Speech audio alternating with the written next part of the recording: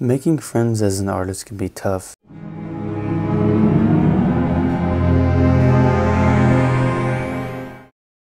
Depending on the community where you live and depending on the people that are around you, you might not have people that have interest in what it is that you create. They might not have interest in the same hobbies as you. And I have noticed that as I've gotten older and I've gotten more into creating an artwork, most of the people that I have um, become friends with was either from a job I worked at or maybe online and the community with other artists. And that's mostly how I've been making friends as I've gotten older. But from my childhood when I was younger, I had a lot of friends that um, they had a lot of different hobbies in me, a lot of different interests, but because we were all in school, we're all forced together in these groups, I know in class groups, um, we were all together in class and everything. We pretty much had to communicate with each other and talk to each other. And so that's kind of happens sometimes at jobs where I end up um, becoming friends with somebody that is very different than me. But there is the other side of it, which is trying to make friends as an artist when you're really focused on it, when you don't have a whole lot of time to do um, other activities. And it can be hard for people to understand that, um, especially if you're using art and you're creating things to deal with stress or to express your ideas. And for a lot of people, the best way to express themselves or to express the thoughts that they're having is through artwork. And then when you try to make friends with people, um, it can be kind of difficult if you don't work on uh, socializing or expressing your, your thoughts and ideas with other people in ways other than just creating. And I've lost most of my friends um, from my childhood and as I've gotten older. Um, all the people that I knew from uh, elementary, middle school, and high school. Um, there aren't any that I know of right now at the moment that I talk to on a daily, weekly, or even monthly basis. Um, there's a few that I might um, hear from maybe once a year, but other than that, I haven't talked to anybody um, from school. The last time I talked to somebody that um, I went to school with um, from elementary, middle, and high school was probably about three years ago, and this is when I went on vacation. I'd, I'd um, met up with him, and um, looking back on when I was younger, how he was as a person, how I am, um, there's a lot of changes in about.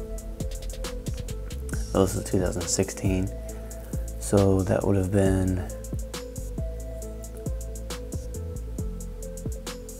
five, six, seven, eight. So about 12 years, I'd say. Yeah. So in about 12 years, there was a really big change in both of us. And I mean, I, I think for anybody, you know, 10 to 12 years, that's a long time. And he was very different than the person they used to be. And when we met up, we got along fine and everything, but we kind of just went our separate ways after that. And I haven't really heard from him since. And then when I moved up to Ohio, uh, all the friends that I made, um, they they all moved. They went to different cities. They went to college, and I never heard from any of them. And the town that I live in now, it's a, it's a small town. There's about 10,000 people, but I've always felt really out of place here because there's not really much of anybody in uh, the town I live in that really create art or that have any of the hobbies and interests that I have. For example, I'm into drawing, I'm into uh, powerlifting, I'm into sprinting, I'm into painting, I'm into, um, I used to be into gaming, but I don't really have time for that anymore. I'm really into a lot of stuff with science and psychology and um, all these different hobbies I have. Um, in my town, there's not really much of anybody that I know of that really has any of the same um, hobbies or interests. And even people that have different um, interests than me, different hobbies, they don't really have any idea what I'm talking about. That's one reason. Or two, they don't have any interest. And the third reason is the um, huge age difference between me and the other people. Um, because, like in the town that I live in, um, everybody, as soon as they turn um, 18, graduate high school, they all move on to uh, go to college. And so they, they move state or they um, you know, go to a different city. And so all the people that are in my age group between, you know, 18 to like 35, they're not even living here. They move somewhere else. And then there's also the difference in personality. Um, it's kind of a, it's a small town that has, hmm, I'm trying to think how to put it it kind of seems like a southern town in a way, the people, but it's also north because I live in Ohio. And so there's kind of this really strange effect of um, cultures and um, I just I feel very out of place for the most part and the few people I do have to talk to would mostly just be online, um, other artists. And I do have one friend. He lives about um, a little over an hour away. I get to see him maybe once or twice a year. Kind of depends on what he's doing. But um, I do feel really out of place in this area. And I did consider moving at one point. Well, actually, several times. And I wasn't ever able to because of the cost of living. Um, because where I live, the, the rent's pretty cheap, and utilities and everything else is pretty cheap. So any of these places that I would even consider moving to, I really can't afford it. And so, I mean, if I can't afford to move somewhere, um, it's not really going to matter much of uh, how badly I would want to move or the better options if I can't afford it. And um, pretty much living in Ohio that I've looked is probably the cheapest that I know of to live. And even though I feel very out of place and there's not really much to do here as far as activities and um, making friends and meeting people and and all of that. There's not really much to do here, but um, the, it's cheaper to live and uh, like I said, all the places I would like to live that have more activities and more things to do, um, they cost a lot more, and so I can't afford to live there. Um, one example would be I'm originally from Florida. I grew up there until I was 15. I moved up here, and the people are very different. Like I lived down uh, down south, I could wave at people or a stranger. I could just talk to a stranger for maybe half an hour if I was out shopping somewhere and someone asked me, uh, "Oh, did you know that person?" I'm like, no, just just met him. But when I moved up here, the people don't seem quite as friendly, and I was I was used to having um, people that were strangers where I used to live down south. That if I waved at them or if I started talking to them in public, they were more willing to talk to you and they were more friendly. You know, I could just wave at somebody down there and they'd wave back. But up here, if I just go up to some random stranger, I notice that if I start talking to them and I try to be friends with them, or I'm driving or walking somewhere or from public and I wave at somebody, they give me a weird look like if there's something wrong with me because I waved at them. And it's just a completely different um, atmosphere as far as meeting people and making friends. So I definitely do feel out of place, but I also don't really have any options as far as um, living arrangements um, because I don't really know of anybody um, that I can move in with or live with or a different state um, because most of the people I do even know live in um, either here in Ohio or Florida. And so those are pretty much the only two options I have.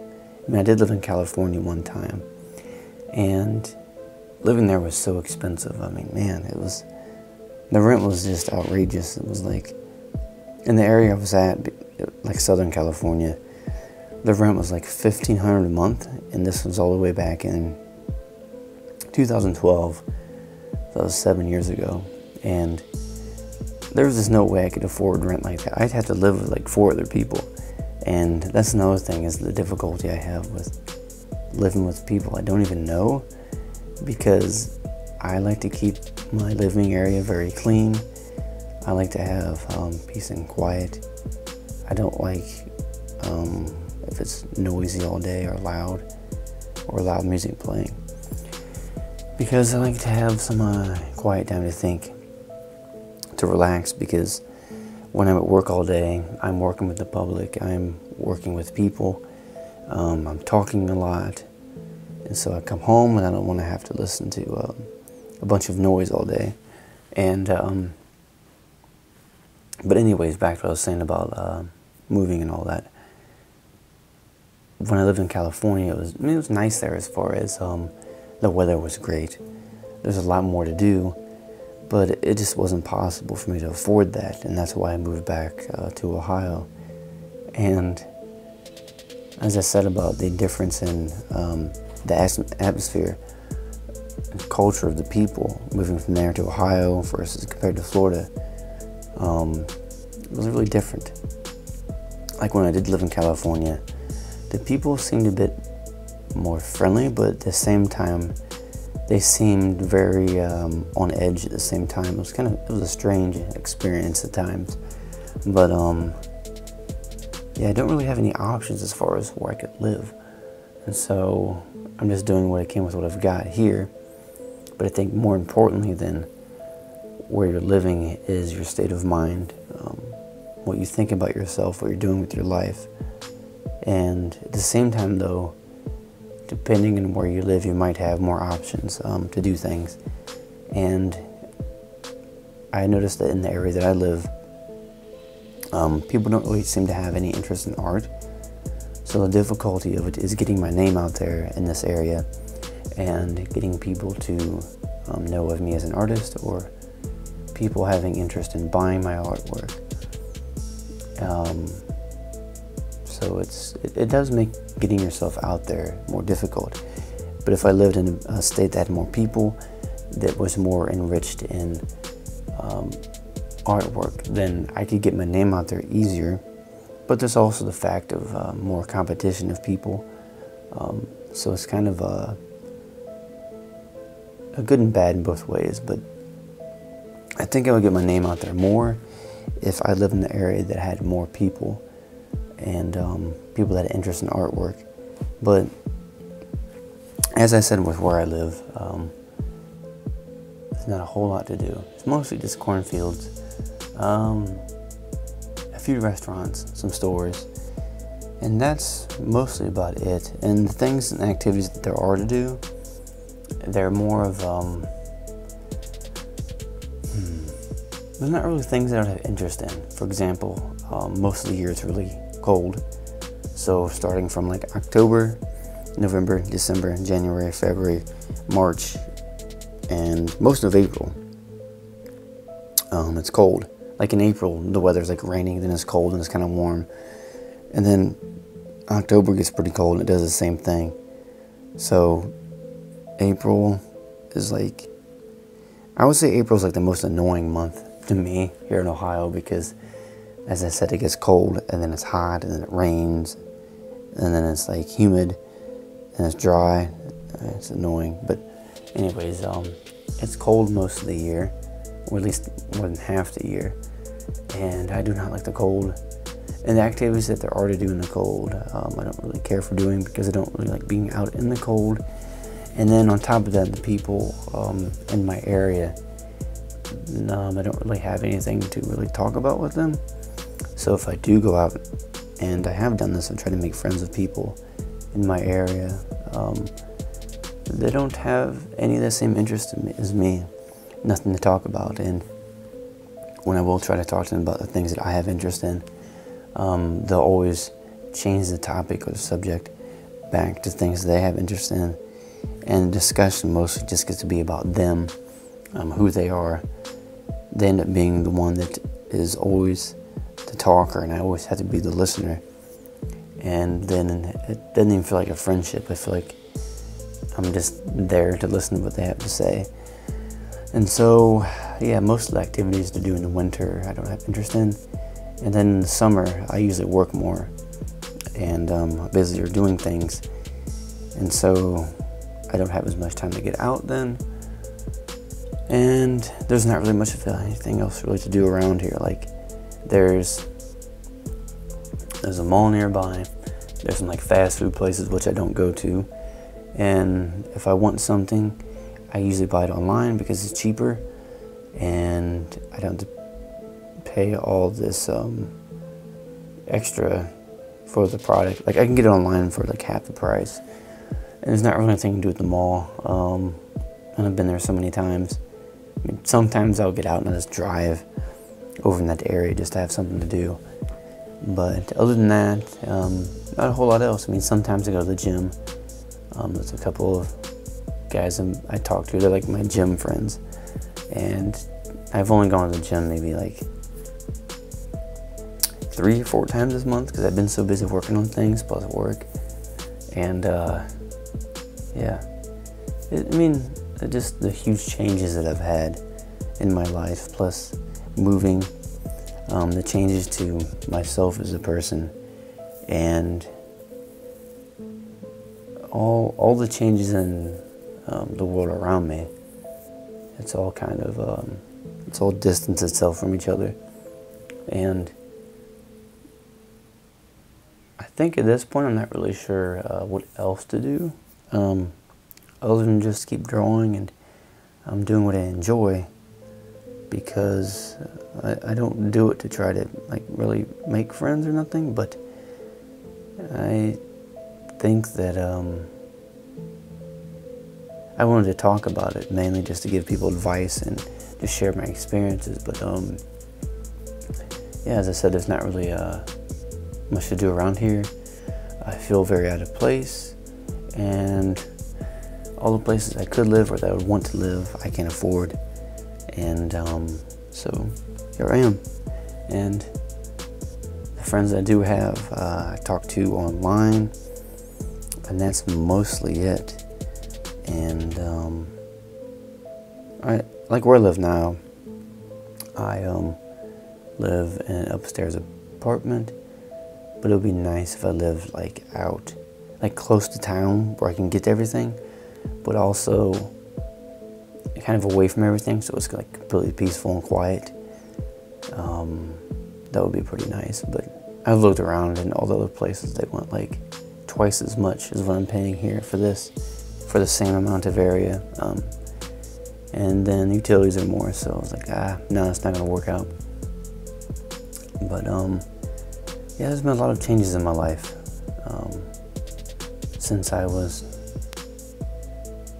living down in Florida.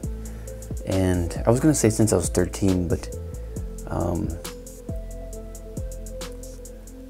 yeah, there's a huge change between when I was 13 and now as compared to when I was 15 now. Because um, I moved up here when I was um, 15. It was about, uh, let's see, June, July, August, about four or five months before I turned 16 and moved up here. And uh, yeah, that was a huge change. I remember in school, I, I felt really out of place.